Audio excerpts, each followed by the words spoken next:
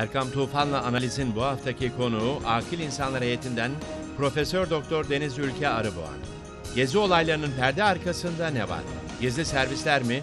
Muhalefetin yetersizliği mi? Yoksa iktidarın söylem ve icraatları mı?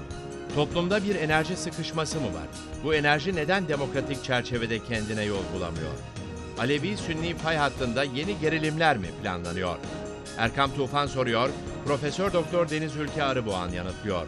Erkam Tufan'la analiz bu akşam saat 22'de bugün TV'de.